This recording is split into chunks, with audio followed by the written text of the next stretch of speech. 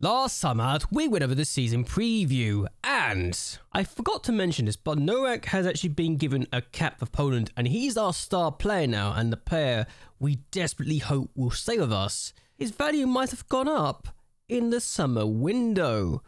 There's also been one more player that's got a cap since the international break happened, and Nishal Najad has also gained a cap for Poland, so We've officially announced ourselves as a team that can produce international for Poland since we've now got six players in our time at the club that have now gone on to be full on internationals for Poland. So happy days.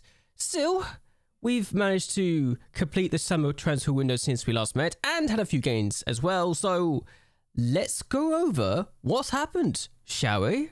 First things first, we actually did convince the board to allow us to have Budapest as our new affiliate. And we can actually negotiate this affiliate as well. So let's do it straight away and make it so we can get youngsters to turn up in the club and we'll see what we can do straight away.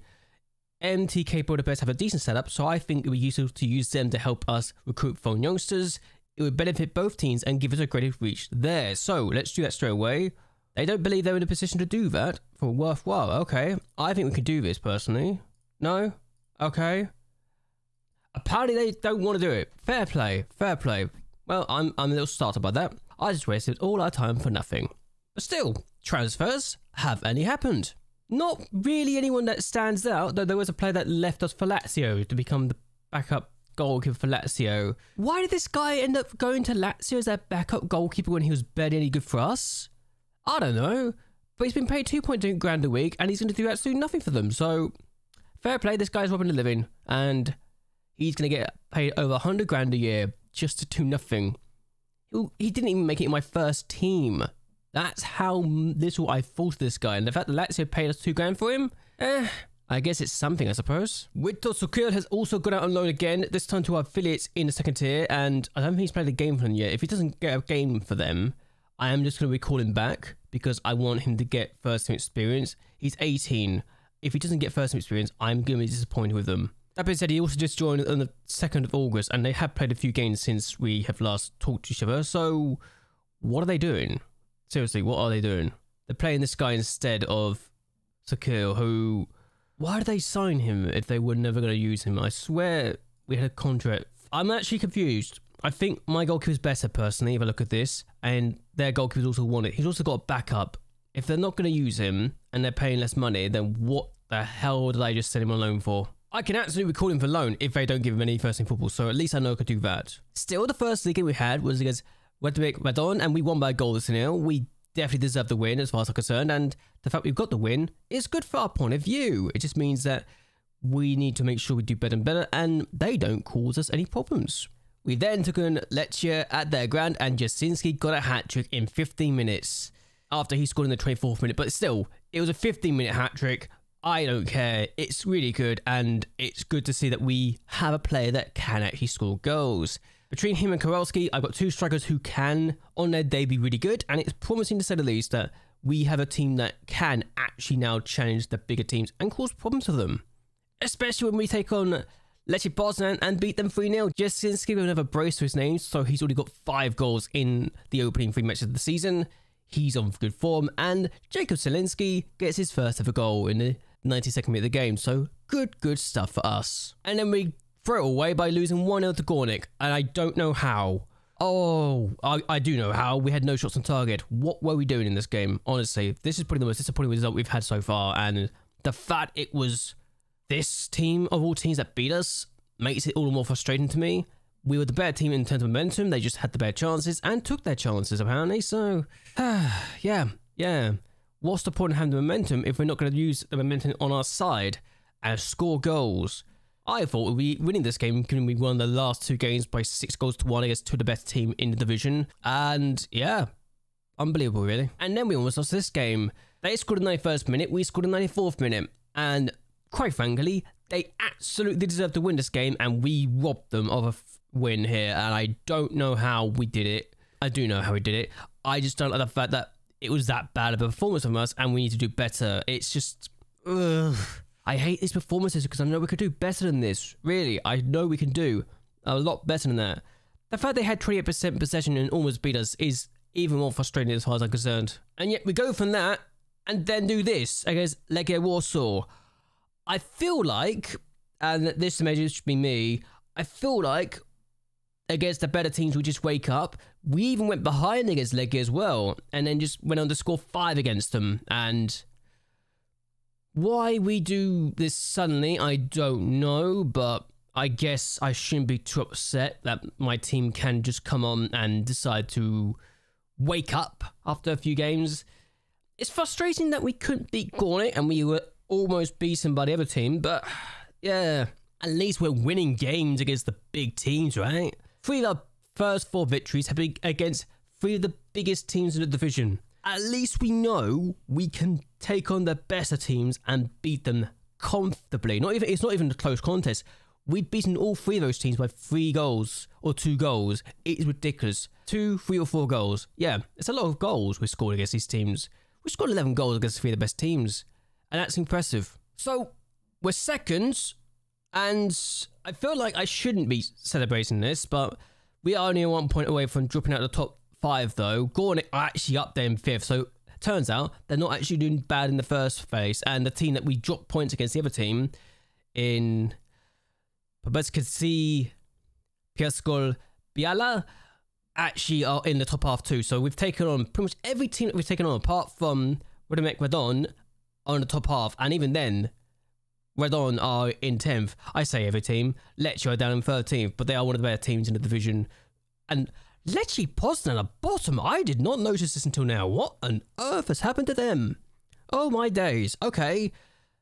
I don't think they're going to get relegated, but that would be bizarre they do a Pagon. But that would be very bizarre they did a Pagon because I sure that's a mm, that's a shocker to me. I did not expect to see that. I think I'm going to look at the teams they've had. Okay, so they went three games without winning. They drew 4 4. They've only drawn twice. They've only drawn twice. Wisla Krakow they lost against. Who've got Kenabo, who's already got 10 goals this season, which is ridiculous. Wisla Lodz also in the relegation zone with them. And the other team they drawn against is a team that almost beat us. But they've lost against some of the teams that you would never expect them to lose against. Bridbeck, who are actually in seventh place, to be fair to them. Mietsu were good last year and again the top half team this year. Oh my god. Well, okay. Lech Poznan. I'd expect them to recover sooner or later. I really do, because this is a shocker to me. It really is.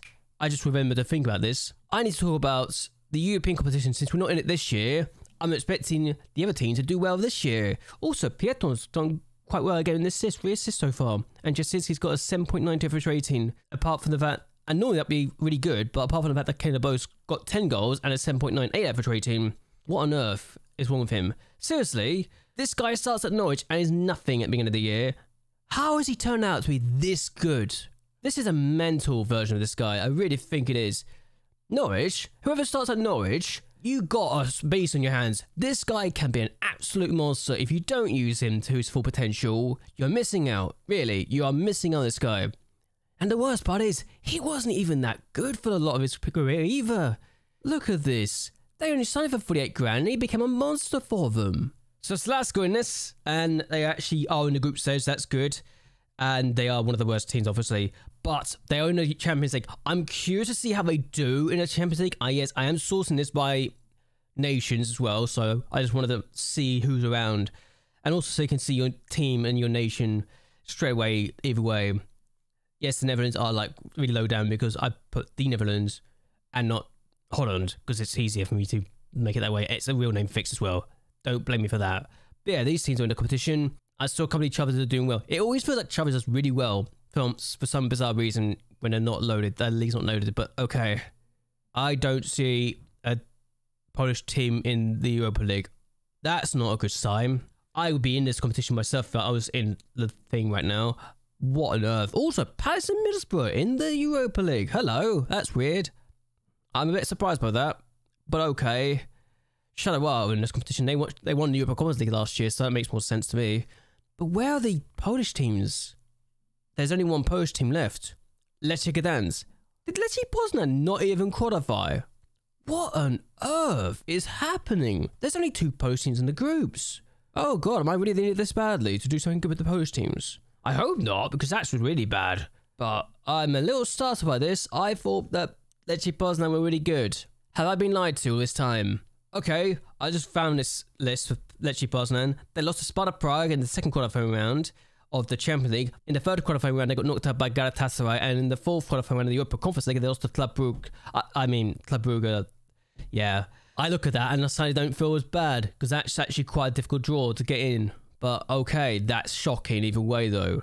They've been absolutely woeful so far this year. We know that Lechia Gdańsk are in the Conference League, but what happened to Wisla Krakow and everyone else? Oh my god, second qualifying round. And that's a Bosnian team, isn't it? That is a Bosnian team. What's the point of letting you get into Europe if you're going to be useless in it? Honestly.